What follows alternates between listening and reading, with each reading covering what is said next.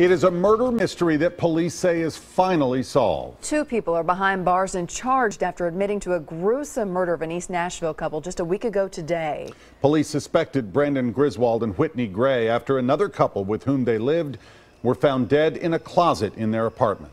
Today, the two were arrested in Crieve Hall and later admitted to the murders. New at 10 News Channel 5's Todd Walker spoke with a woman who says she ran into the couple while they were on the run. And Todd, imagine she's pretty shaken up tonight. Yeah, she says she was on her way to church yesterday when she saw a couple outside of a gas station that she thought was homeless. She gave them the money she had on her and went about the rest of her day.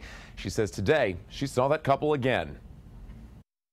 When this picture flashed on the news, it was the first time many of us had seen the two people who have now admitted to killing Preston Clay Brooks Jr. and Alexandra Grubbs. When Barbara Brooks saw it today, it was the second time. And when I looked at the news, I looked and I looked again and I said, oh my God. I said, those are the two that I gave the money to yesterday. Brooks said she was headed to um, church yesterday morning when she stopped at the Mapco on the corner of Harding and Trousdale Avenue. She noticed two people wearing dirty black clothes. Thinking they may be homeless, she gave them the money she had on her. They did give me a look, you know, a strange look, but, you know, like I said, it didn't dawn on me. I just did what I felt the need to do, and I walked away. Brandon Griswold and Whitney Gray were arrested just feet away from that spot today. To know that I came in contact with two people that admitted that they murdered, you know, some people. I, I've never had this experience before.